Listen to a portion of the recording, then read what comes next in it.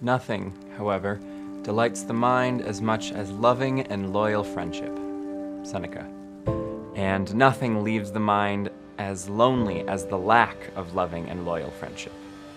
okay, I, I didn't mean to start this video off on such a negative notion. Let's restart.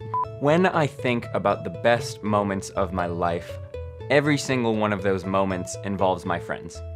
Every one of them. The first thing that pops to mind is my theater memories from high school. I did 20 shows over four years with some of my best friends, and it was just a blast. I remember one time we were performing the show Treasure Island, and we had like three performances in a single day. We had two for elementary school children during the school day, and then one for general audiences that night and we had already been through Tech Week and the entire company was exhausted. So I remember between shows, I think two and three, we took a mandatory nap. Our director made it mandatory for us to take a nap. We were like, you know, 17, 18 year olds in high school, and we had a mandatory nap time. I think that's so funny. Anyways, me and some of my friends took our nap in like a giant cuddle puddle. We were just like, laying out on the sawdust covered stage, completely surrounded by pirate themed props, just passed out. Yeah, I've had some fun times. In my last video, I talked about some of the mental health problems I had in high school and continue to work through today. And I've never been diagnosed, and I'm not trying to compare my life to anyone else's. But I had some really not fun moments in high school. The most prominent were a couple breakups, I had some family issues, but then there's also just like the regular high schooler angst that I think most people have. The really low moments weren't actually all that often, but I know that they would be more common if it weren't for my friends. There were a handful of people that I relied on for like direct moral support. My friend Maddie, bless her heart, um, she put up with so much of my emotional baggage over the years.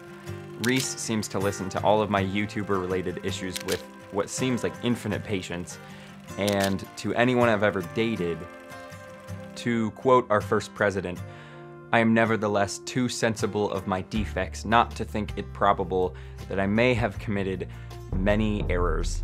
And so, in other words, thank you for putting up with me.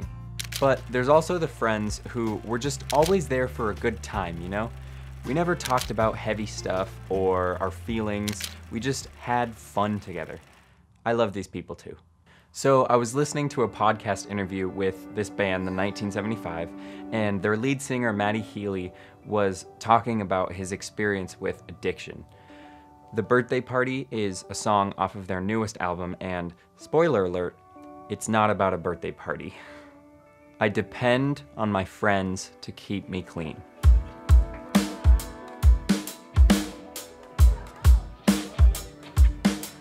That's the line.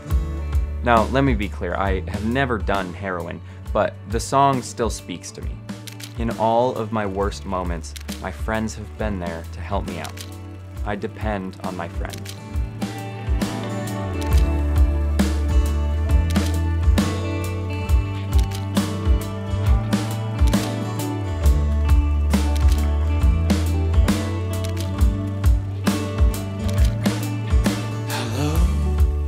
Life is kind of tough right now. I think that's pretty universal.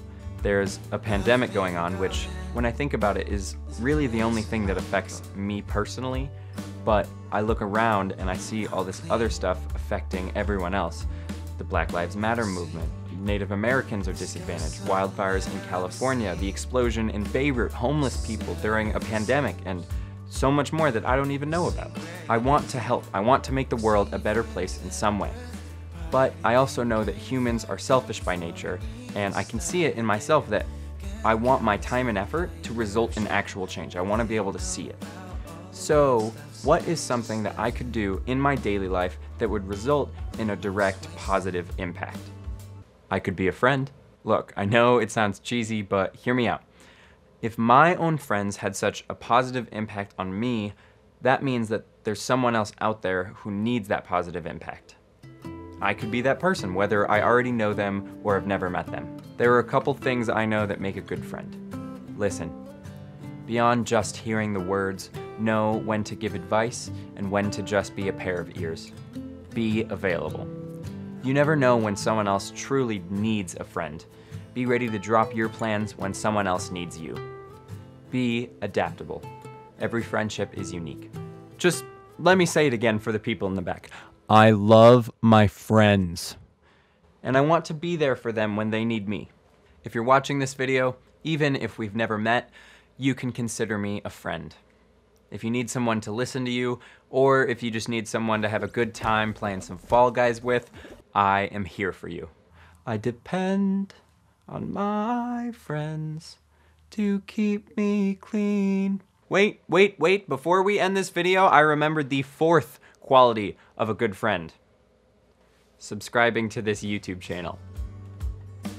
I don't make the rules, I'm just a messenger. That's all I got for today. Thank you for watching. Come say hi to me in the comments, hit the subscribe button, and I'll see you guys next week. Goodbye, friends.